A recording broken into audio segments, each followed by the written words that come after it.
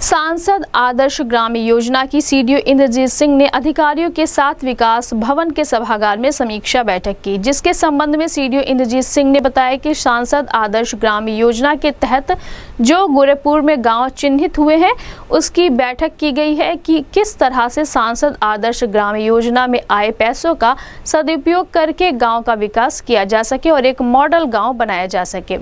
जिसको देखते हुए सभी ग्राम प्रधान, जनप्रतिनिधिगण आए हुए थे।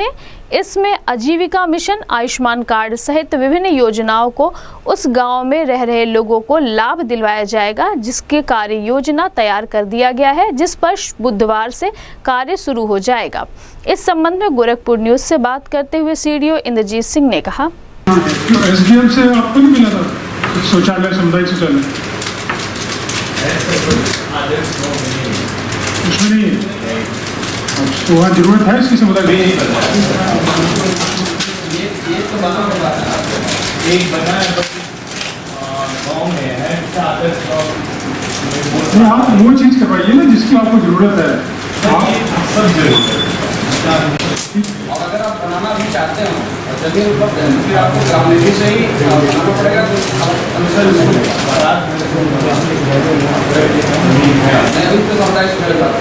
पर नहीं आपके तो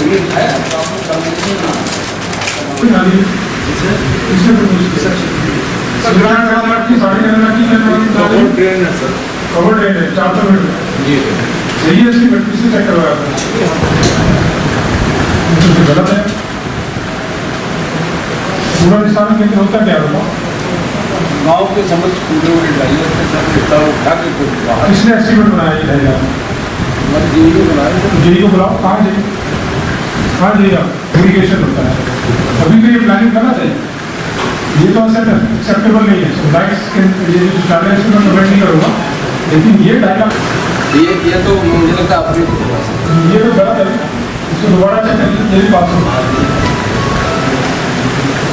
नेक्स्ट ये लोगे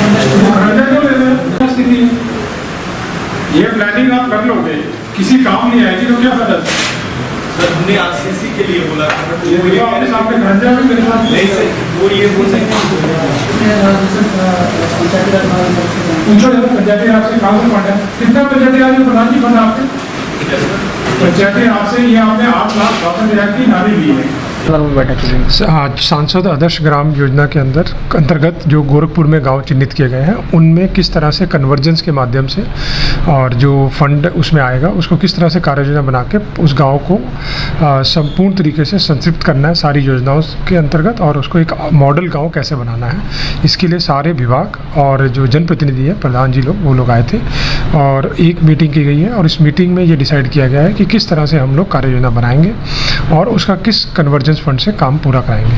इसके लिए जो ट्रेनिंग का पार्ट है, उसमें एस है सॉलिड लिक्विड वेस्ट मैनेजमेंट और जो हमारा आजीविका मिशन है, आयुष्मान कार्ड बनने, राशन कार्ड बनने हैं इस तरह से विभिन्न विभिन्न योजनाओं को वहाँ किस तरह से संक्षिप्त करना है, इसकी एक योजना बना के हमने एक कार्य स्टार्ट किया है।